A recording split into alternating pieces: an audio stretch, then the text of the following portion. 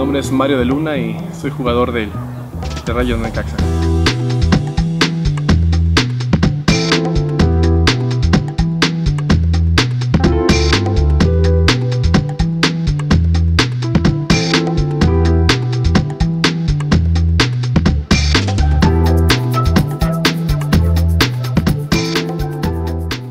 Empecé a jugar fútbol, recuerdo a los 6 años, un equipo amateur aquí en una escuelita de fútbol aquí en Aguascalientes que se llamaba Panteras Estrella. O de chico no tenía claro llegar a jugar profesionalmente fútbol. Me gustaba jugar fútbol, pero no, no estaba en mi cabeza o no pensaba en ese momento llegar a jugar a ser, jugar en primera división. Fue ya mucho, mucho después donde empezamos, cada junio empezaba la Copa Chivas, íbamos de participamos de torneo y me recuerdo una vez eh, fuimos a ver un partido de Chivas el Estadio Jalisco. No recuerdo, no, recuerdo el rival que era, pero me entrando a la cancha, entrando luego luego del, de la calle a la, a la tribuna y ver toda la cancha, ahí me, me puse la piel chinita y de ahí empezó a, a gustarme, fue como yo creo unos 10, 12 años que empezó ese sueño.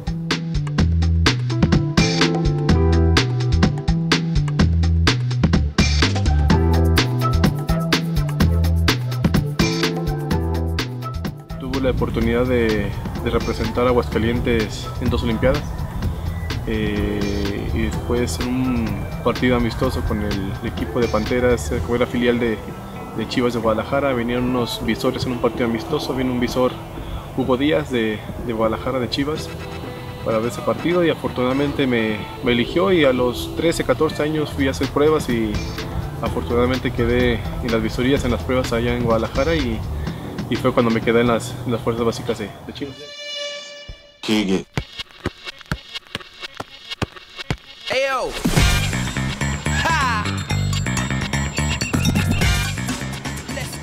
No me esperaba esa, esa oportunidad de, debutar hasta el momento de la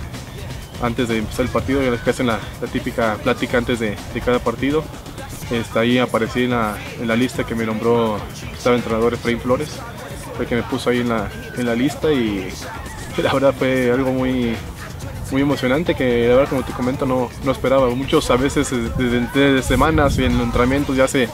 ya se esperan que pueden jugar y yo en ese momento no, no me esperaba nada. Recuerdo mucho el salir a calentar, salir a calentar y eh, Chivas es un equipo que llena estadios en cualquier país, en cualquier lugar que vaya. Y a la hora que sales a calentar el estadio ya está repleto, ya está lleno recuerdo que salía, salía a calentar y la verdad de ver todo el estadio Cuauhtémoc repleto de afición de Puebla y de, Chivas, la verdad me, se me puso la piel igual chinita y muy emocionado y ese momento lo, recuerdo mucho, ya el partido lo perdimos 2-1, pero la verdad fue algo muy emocionante para, para mí.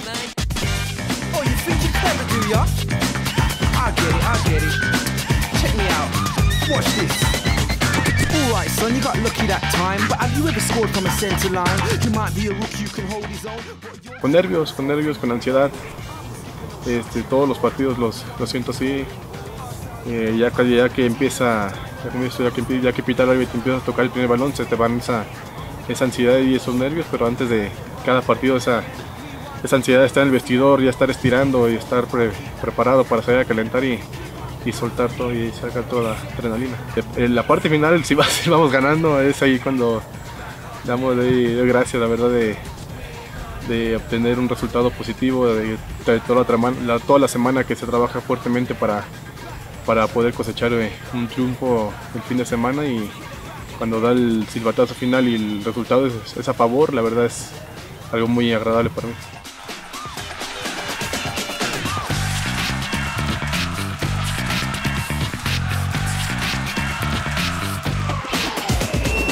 La verdad muy, contento con la, con la gente desde, el ascenso. Me, ha sido lo mejor que me, me ha pasado ahorita en mi, en mi carrera. Eh, subir con el Caxa, eh, ir a festejar a la, Plaza de Armas, ahí donde muchas veces caminaba, pasaba, caminaba de, mi escuela para, ir a mi casa y, estar festejando ahí un título de, ascenso fue algo muy, muy padre que, me pasó, que, que ha pasado en esta carrera que tengo.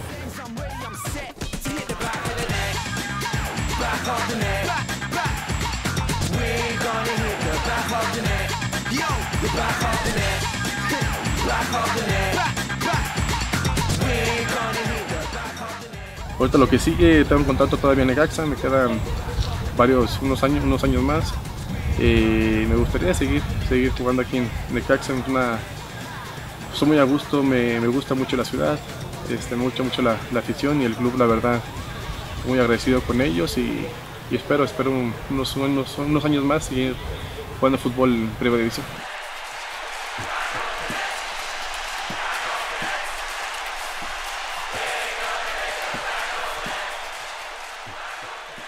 Por su,